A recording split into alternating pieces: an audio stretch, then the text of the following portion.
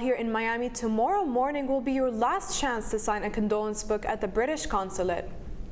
The network's Alexa Velez spoke to those who were sending their love across the Atlantic.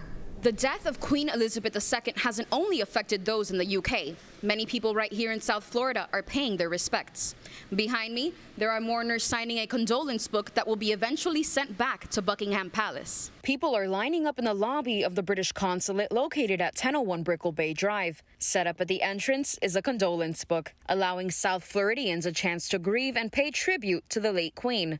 They can do so by signing their names and leave messages to wish the royal family well and express what Queen Elizabeth meant to them. The least we can do is um, is come and sign the condolences book. As even though she was not my queen, but in the sense, I think she was the queen of the world because everybody knew her. She had a quality that I think is is, is, is rare and, and to admire, mm-hmm. which is balance and courage. It's been amazing to see so many people, young, old, British, American, uh, Latin American, from across the world actually, all of whom the Queen Queen has obviously meant something slightly different to them. So it's been wonderful, quite humbling to see so many people turn up.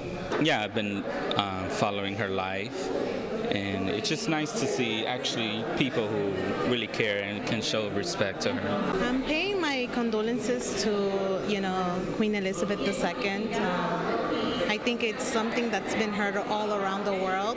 It was expected, you know, obviously because of her age, but I didn't think it will have such a big impact.